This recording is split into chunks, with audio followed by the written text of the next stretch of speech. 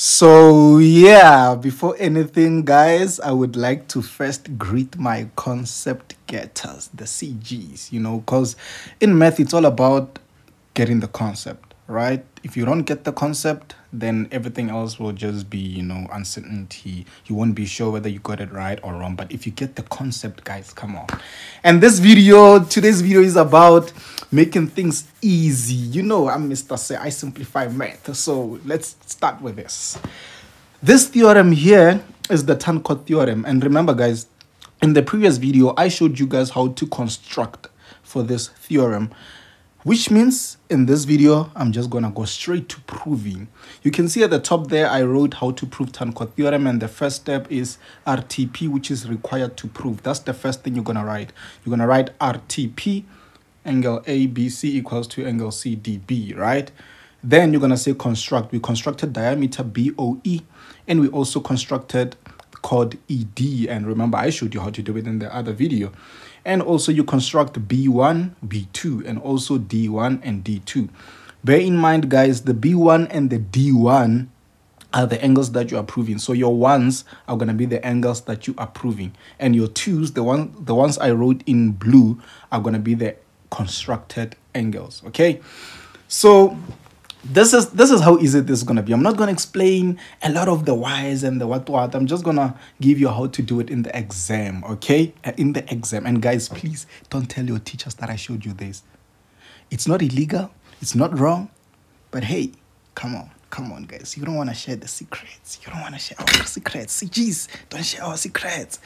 So i'm gonna start by saying proof here's the trick your ones and your twos always at the back of your mind just say my ones and my twos are always going to be added and be equated to 90 degrees. So I'm going to write it, okay? I'm going to say B1 plus B2 is equals to 90 degree. We'll think of the reason later, all right? So also write D1 plus D2 equals to 90 degrees. Always. Then that's when now you'll be like, okay, why is my B1 and B2 equated to 90 degrees? That's why I wrote I, I drew this block, the yellow block on B1 plus B2. Do you see it? That yellow block, the box that is yellow in color is for 90 degrees, showing you that radius OB and the tangent passing through B, you know, radius OB and the tangent AB intersect at B. And we all know the theorem. It states what? It states that tangent will always be perpendicular to radius. Remember that theorem, right? And then now let's look at D1 and D2, guys. D1 plus D2 will make a 90 degree. Why? Look at the constructed diameter EB. You see EB, the diameter, it subtends the whole angle D. You see, so D1 plus D2 will be 90 degree because it, it is an angle in a semicircle. Come on, guys. This is easy. So you're going to see the reason is angle in a semicircle. Right? So now, now this is the interesting part. Remember, we are proving the ones, right? If we are proving the ones, just say, man, the twos are equal. Come on, the twos are equal. They gotta be equal. So I'm just gonna write it, okay? I'm gonna say, well, my B2 is equal to my D2. Then the question is, why? Why are the blue ones, the twos are, why are they equal? Then you're gonna look at the D2. Look at look at this two here.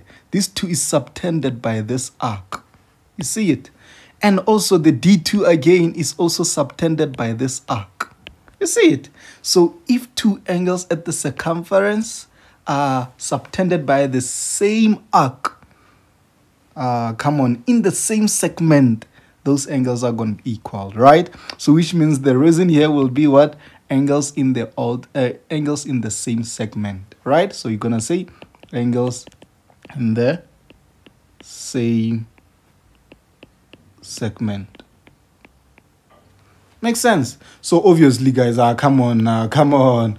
If this is equal to this and this is this, come on, come on, which means this has to be equal to this. Come on, guys. Imagine if you had uh, mm, plus 3 being equated to 5. Imagine if the 5 was the 90 and the 3 was the B2. And again, you have mm, plus 3 being equated to 5. Imagine if the 5 was the 90 and this 3 was the D2.